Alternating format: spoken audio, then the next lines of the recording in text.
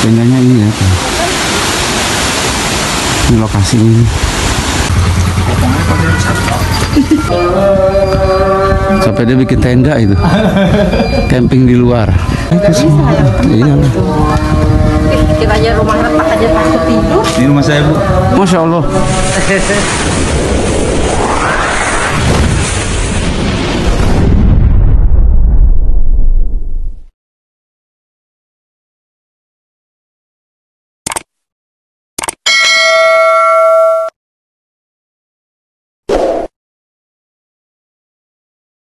Hai hai hai. Assalamualaikum warahmatullahi wabarakatuh.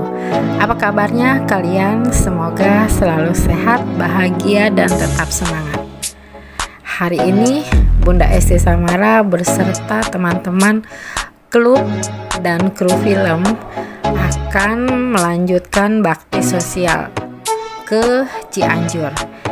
Ini Bunda Esti Samara kedua kalinya menuju ke posko-posko di daerah Cianjur. Ini pagi hari di hari Minggu. Kita rencananya ada sekitar 4 titik yang mau kita kunjungin. Keberangkatan kali ini Bunda Esti Samara bersama dengan teman-teman klub sebanyak 6 motor dan 3 kendaraan roda 4 kami jalan berangkat beriringan dari berangkat sampai pulang menuju ke lokasi Cianjur.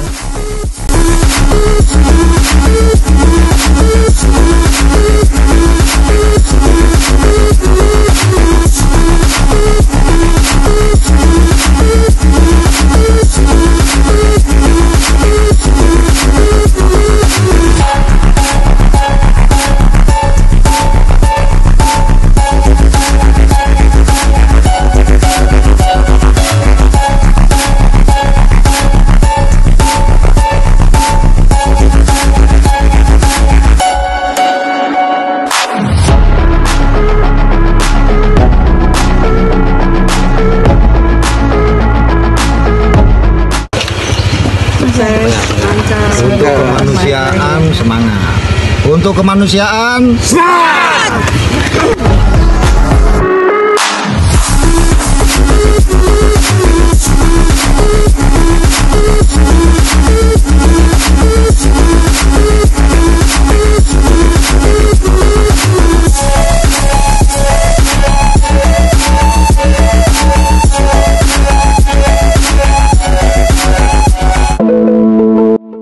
Dengan membantu orang lain, maka kita akan meningkatkan rasa kepedulian dan kepekaan kita terhadap orang yang membutuhkan bantuan.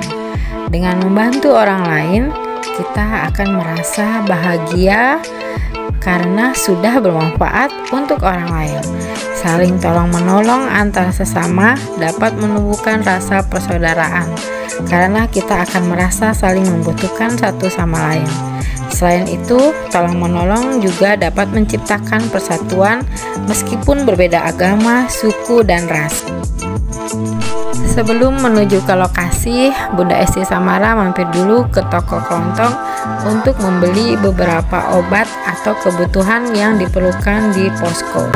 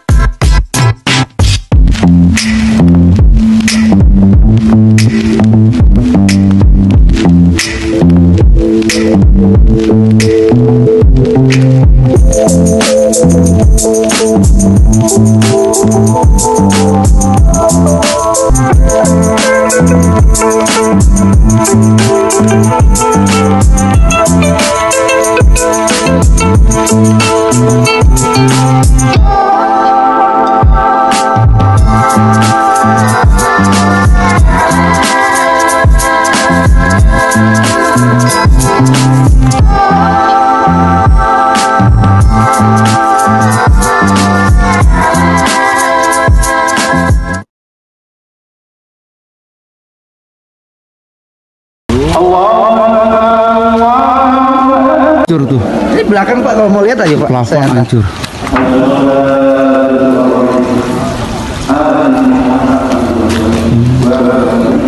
bentengnya tuh ya semuanya hmm. Lalu semua orang pada keluar semua ini ya oh. Saudi yang sana Kalau saya mungkin balik hadiah, balik nilai. Tante masih nyepengan gitu baik. Iya tuh, hei. Ini rumah ini sudah sekitar 20 tahunan ya. Enggak, eh, kurang lebih ada 14, 13 tahun. Tadi pagi jam 5 juga. Ya, bapak ya. Sekitar jam 5 lebih 4.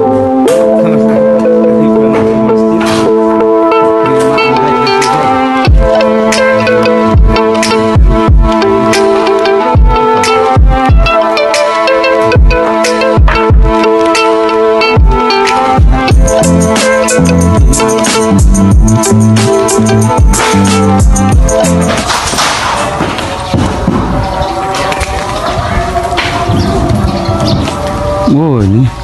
Ini oh yang yang yang hancur malah bawahnya ya. Ya, ini Karena beban dari beban atas. dari atas Pak Gung betul. Ini juga hancur.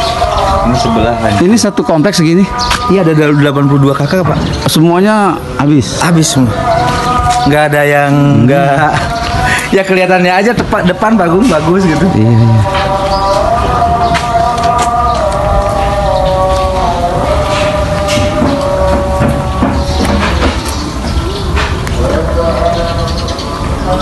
Tapi ini mah aman ya orangnya ya. Semua keburu keluar Pak. Yang ini am- yang oh itu karena tidur ya, kan orang baru juga. Semua keburu keluar. Ini isi semua Pak. Isi. Karena Pas kemarin kan trauma. emang hari Senin ya. Iya trauma jadi pada ada yang keluar dulu ke teman-temannya nginep sekarang. Oh. Jadi kan udah udah Kayak gini, Ya. bilangnya begitu bu di data udah tapi nggak tahu lah gitu. Surat. sebanyak ini maksudnya bingung juga ya Pak. Di sini aja 82 Nah, kalau Bapak gimana? Sini bu. Rumah ini nih. Yang ada di pikiran Bapak apa Gimana bu? tentang rumah ini? Gitu. Ya pas aja bu. Ya, mau gimana aja. Mau gimana lagi gitu. Bisa aja insya Allah.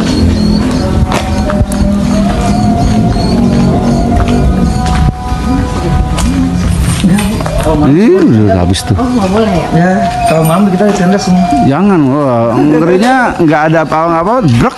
Ya. Nanti kan kita ada yang mengapresiasi apa asesmen mengapresiasi dari BPBD layak enggaknya gitu bu. Jadi sementara ini belum di Kasih tahu dikasih tahu jadi kita dari dari di luar dulu. Ini juga sama-sama. Di dalamnya tuh hancur. Sampai dia bikin tenda itu. Camping di luar. Tapi kalau malam keluarin pak. Iya, iya. Harusnya takut ada mobil nih. Tuh lihat tuh Pak. Iya, itu semua. Iya.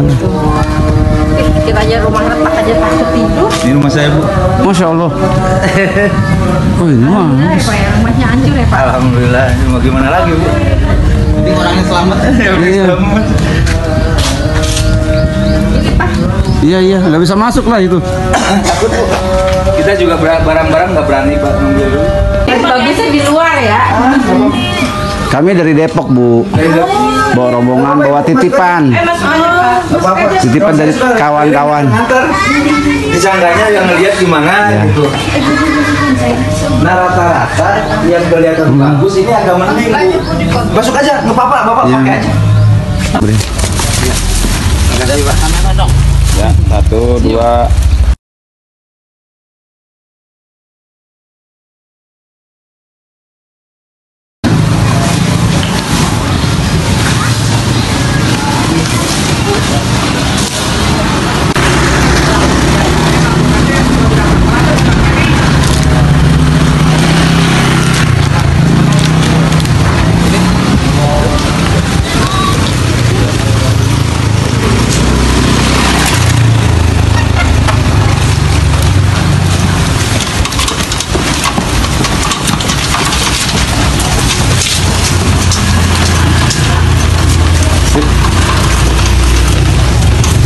Jalannya sempit.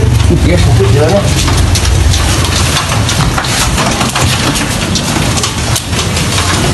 Ini lagi.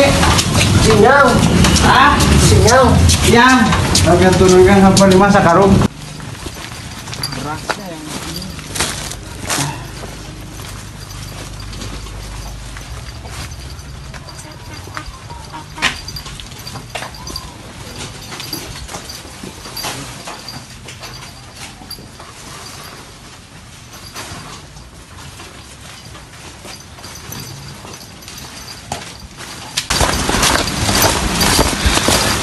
Ini karena nggak ada bisa kendaraan ke sini, jadi kita lewat jalur setapak, lewat hutan bambu, rumah-rumah warga. Nah ini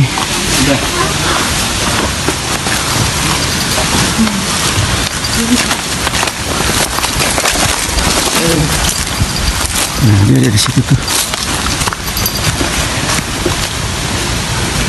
Sini bener ya? Iya,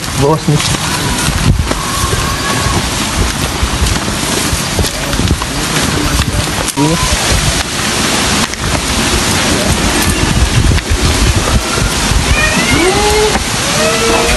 Sebelah kecil.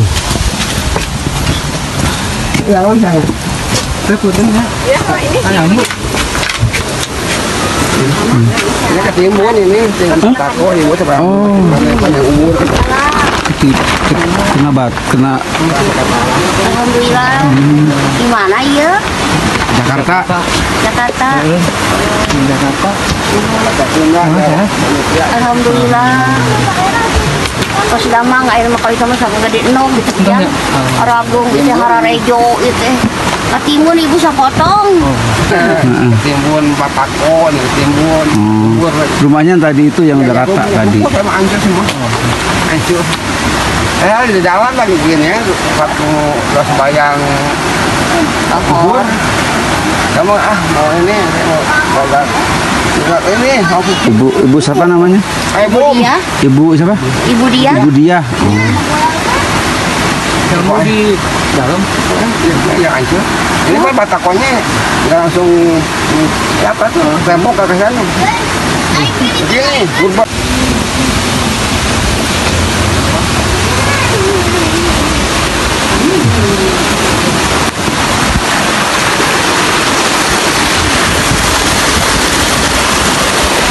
Ini sungai.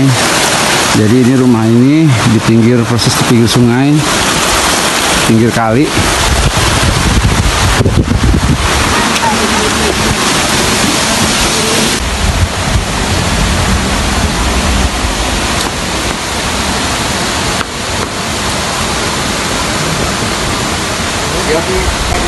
Jadi ini posisi tadi rumahnya ibu tuh di sini nih teman-teman.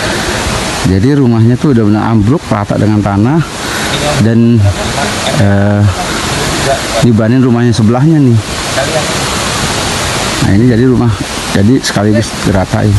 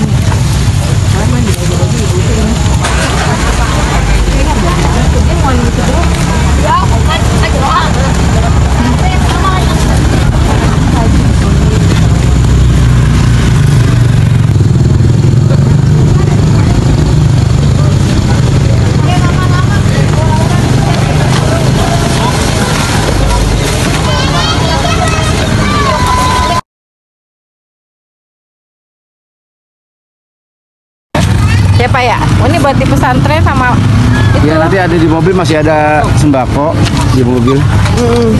buat miringin Al-Quran nih Ini dibukanya gimana ya? pakai Siapa? Ah, dibuka dulu. Ah.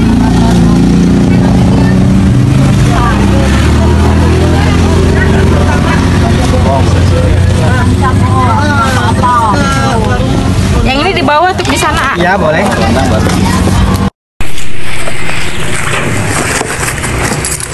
apa yang kita terima tadi utuh dari Jakarta sampai sini isi utuh alhamdulillah sampai diterima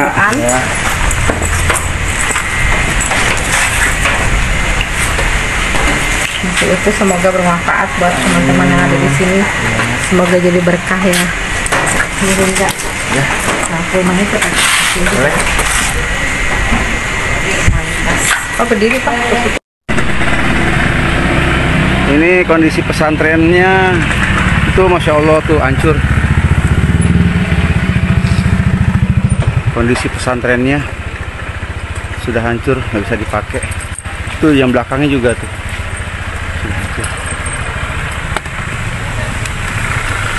Nah ini kondisi dalamnya. Kayak gini. Nih.